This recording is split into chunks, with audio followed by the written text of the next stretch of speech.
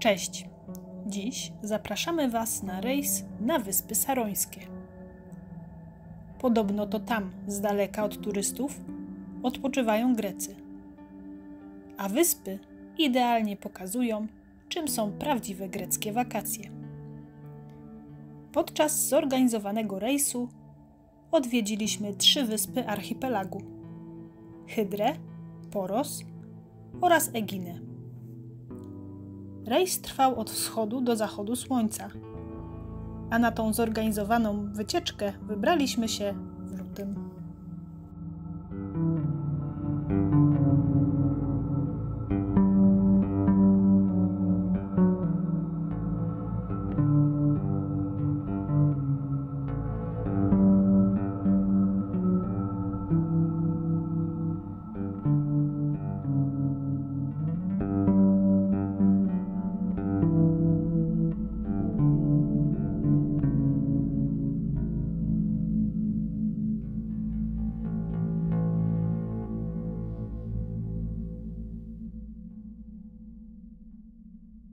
Sylwia dotarła na stateczek. Hello, Poland. Poland, dzień dobry.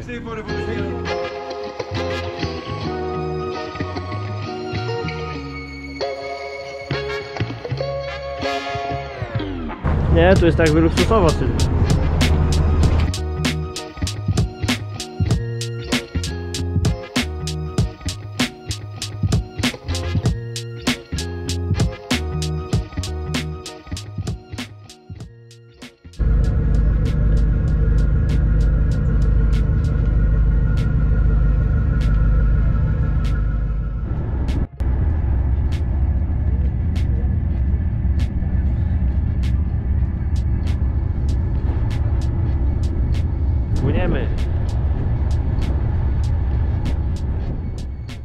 Wypływamy z mariny w Atenach przy zachwycającym świetle wschodzącego słońca.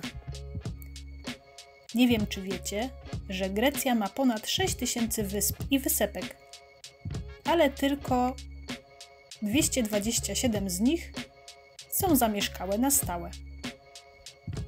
Najbliższe Aten są właśnie Wyspy Sarońskie. Wypływamy na Morze Egejskie i udajemy się na wyspę najbardziej oddaloną od Aten, Hydrę. Rejs tam zajmuje nam około 3 godzin.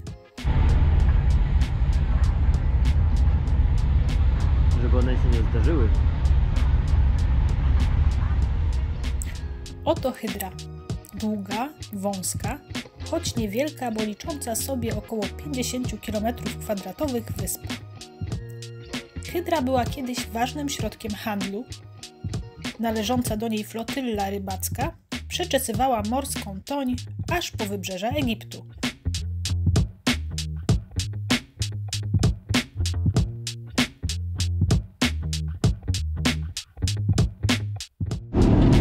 Zapraszamy na Hydrę. A hydra to nie był jakiś wąż? Hydrze odrastały te węże na głowie, głowy. Że.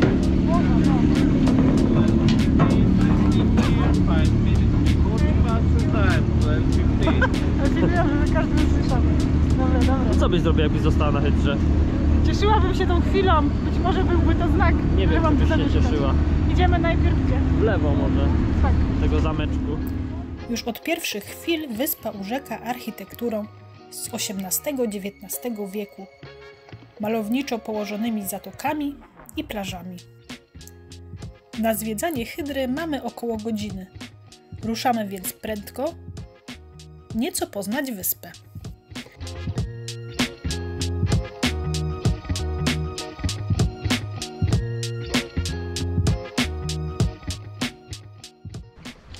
Idziemy do Heliosa.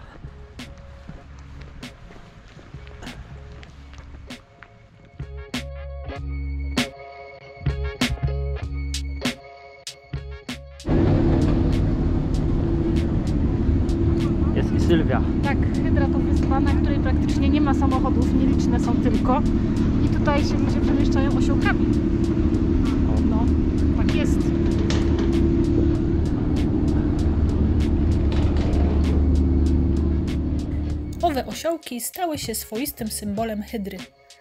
I rzeczywiście stanowią one tutaj podstawowy środek transportu.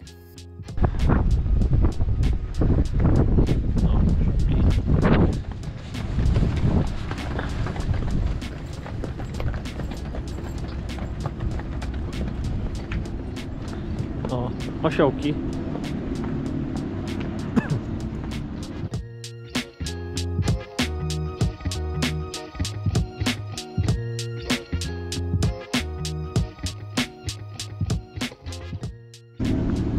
Kot cię napadł.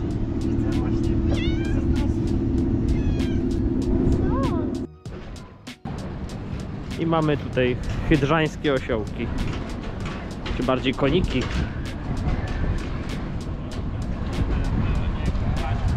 Osiołek to musi mieć uszy jak osioł. Pomimo małej powierzchni, na Hydrze znajdziemy ponad 300 kościołów. A czas tutaj jakby się zatrzymał. Tutaj wszystko toczy się spokojnym, leniwym biegiem.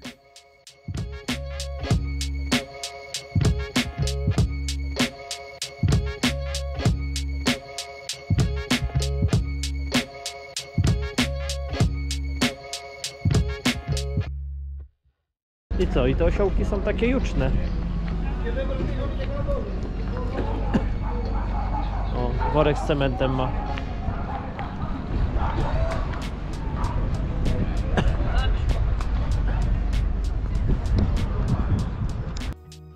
Port położony pomiędzy wzgórzami jest sercem Hydry.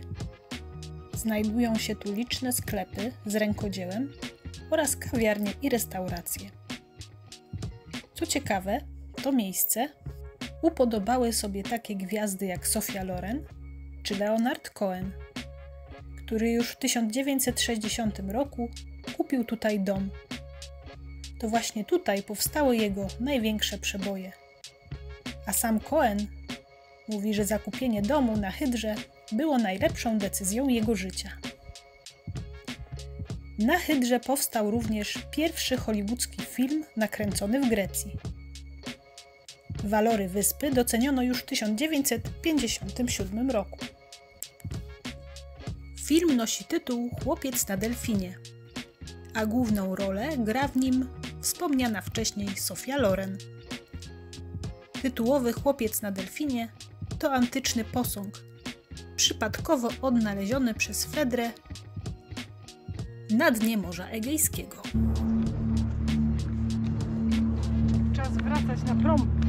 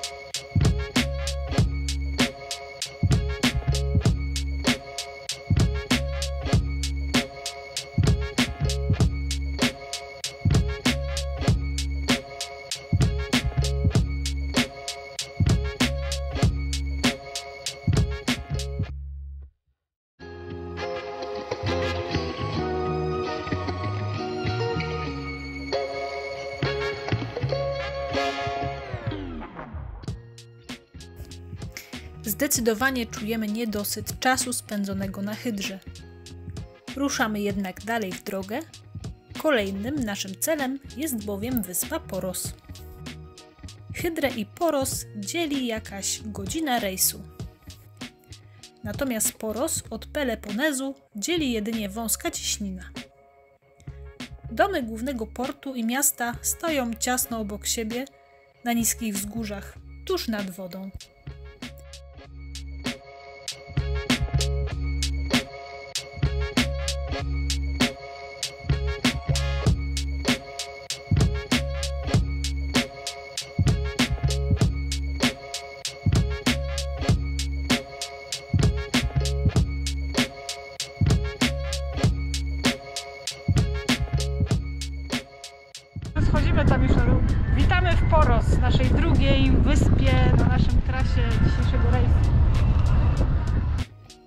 Miasteczko Poros jest przyjazne i pełne życia. Charakter nadaje mu neoklasyczna zabudowa. Najokazalszym jej przykładem jest wieża zegarowa, wybudowana w 1927 roku. Sterczy w najwyższym punkcie osady, jakby była latarnią morską.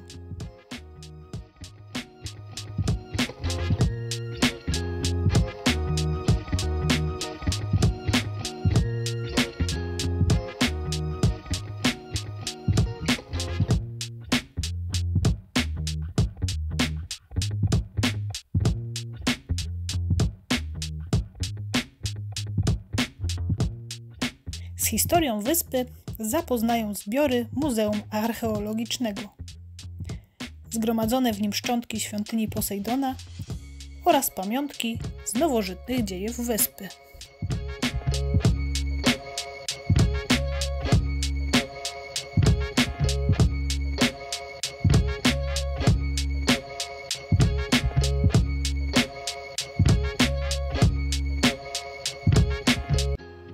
We wschodniej części wyspy stoi XVIII-wieczny monastyr Matki Bożej życiodajne źródło, znany z krynicy, której woda ma ponoć właściwości lecznicze oraz z pięknej morskiej panoramy. Klasztorny kościół, choć skromny, z kilkoma tylko freskami, przechowuje wartą dokładniejszego obejrzenia XVII-wieczną rzeźbioną ikonę pochodzącą z Kapadocji. Na Poros również mamy około godziny czasu na zwiedzanie.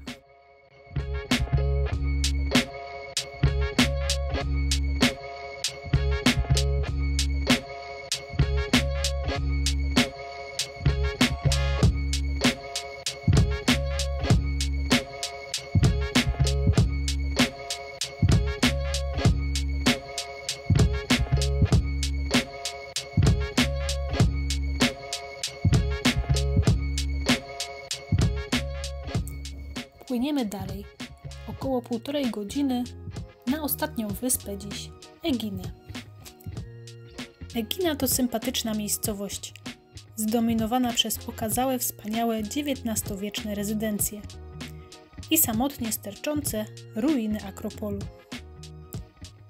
Niezwykle tłoczno i gwarno robi się tutaj w weekendy, gdyż Ateńczycy upodobali sobie te okolice jako azyl pozwalający odetchnąć od wielkomiejskiego zgiełku. Turystom wyspa oferuje kilka wielkich atrakcji historycznych i kulturalnych.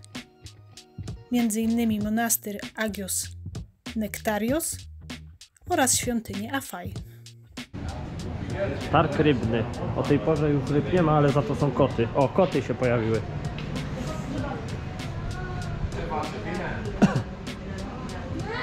Slippery, slippery. No. Hello? Halo?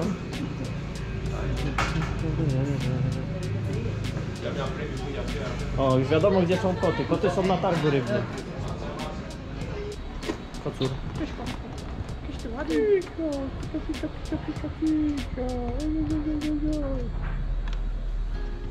O, już mamy kota swojego. A, nie poszedł. Myślałem, że pójdzie.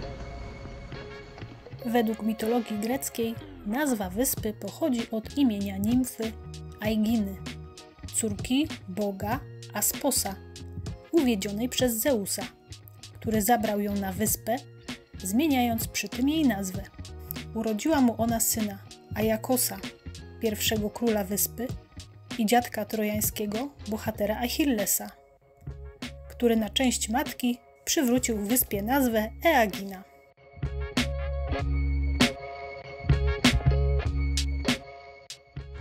O, no. Zapraszamy do świątyni Apolla na wyspie Egina. To jest trzecia wyspa na naszym dzisiejszym spływie Kajakowym. promowym.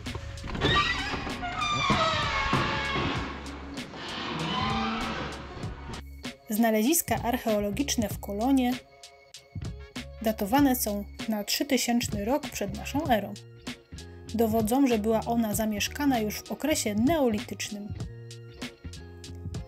Największego rozwoju wyspa doświadczyła w VII i VI wieku przed naszą erą, gdy jej żegluga osiągnęła szczyt możliwości, szeroko rozwijając handel sięgający nawet do Egiptu i Fenicji.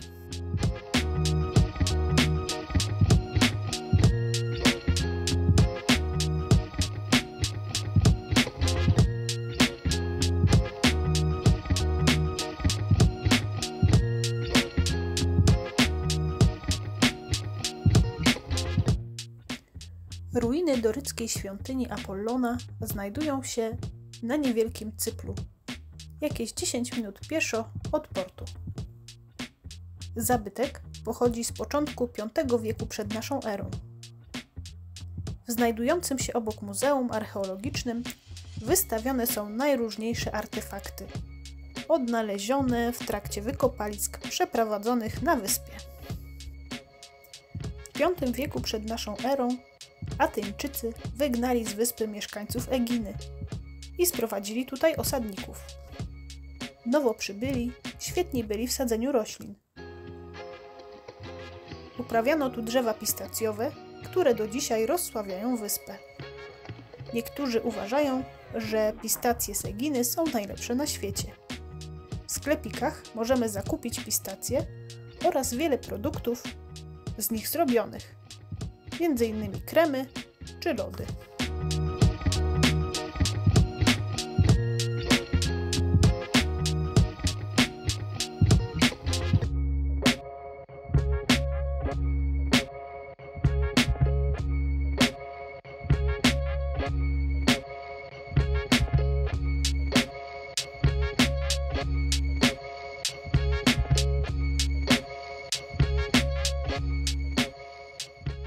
Dzień powoli chyli się ku zachodowi.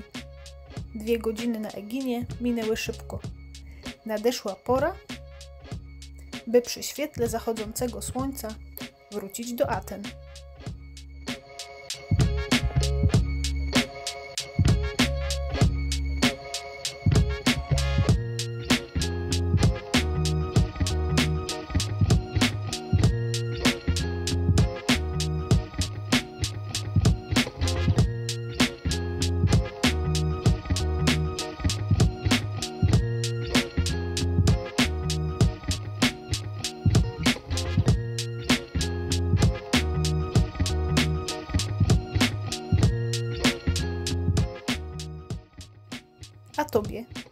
Która z wysp sarońskich spodobała się najbardziej?